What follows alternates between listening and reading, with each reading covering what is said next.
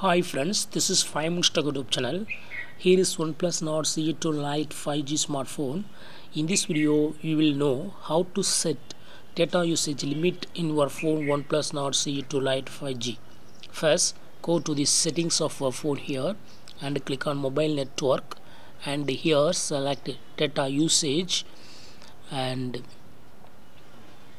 click on data usage limit and here select data daily data usage limit. Just turn on.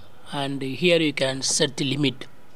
For example if you want to use only 500 MB you can type here and uh, those 500 MB will only be used uh, even though if you have more data for example you may have 1.5 GB data per day but only 500 will be sent uh, 500 will be spent if you if you set here 500 and uh, then uh, here if you select first option send alert only. It will send alert only.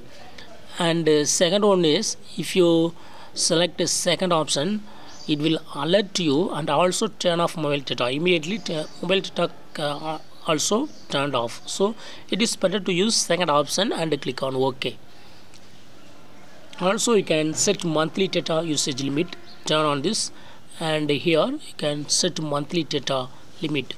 So if you are spending 500 MB and uh, so you can calculate uh, monthly data usage based on 500 MB and set.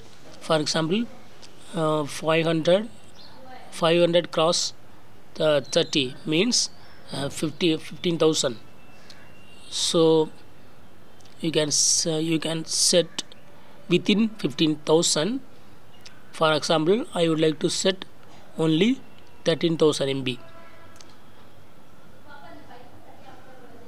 click on ok. So in this way you can easily set data limit data usage limit in your phone oneplus nord CE2 lite 5g that's all friends. Thanks for watching. Bye